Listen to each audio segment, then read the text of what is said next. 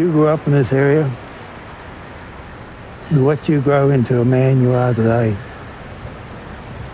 And it warms the heart of our ancestors in the place that you were raised.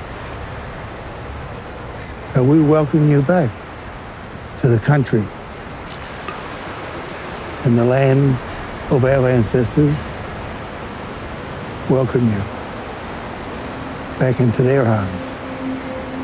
Farewell. Growing up in Warrnambool allowed me to still be connected to the sea and the ocean, quite a relaxed environment. Warrnambool's a special place to me and I love that there's so much that represents the local history and culture and particularly the people. I have this incredible connection to the sea and the ocean you feel like you're getting run down or drained from the life that you're living, going back to the ocean or to country can really fill you up.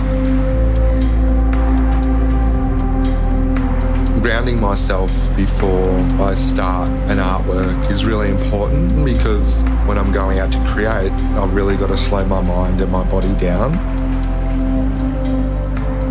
It was incredible when I started to clap my boomerangs and sing out. You know, I felt like the birds and the animals in the, the space were really talking back to me. I know what our mobs talk about now when they say we have a spiritual connection with the land.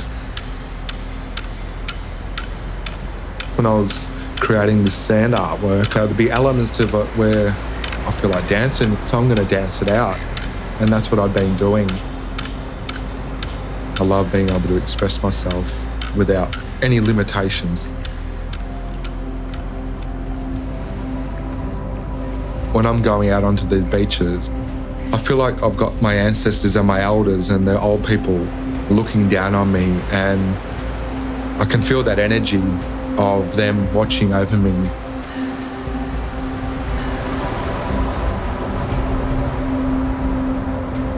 having my work displayed in the Warrnambool Art Gallery was a really amazing feeling.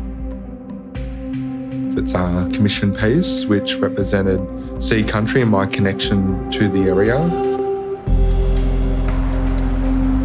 The gallery is doing a really great job of making sure that Aboriginal people and culture have a platform to showcase their stories. Salt Cafe contacted me and said, I'd love to purchase one of your works. There's a lot of businesses in the Warrnambool region that are really genuine in what they're doing and they're connecting with their customers and their local community as well. And the artwork that I created is a story about my lived experiences.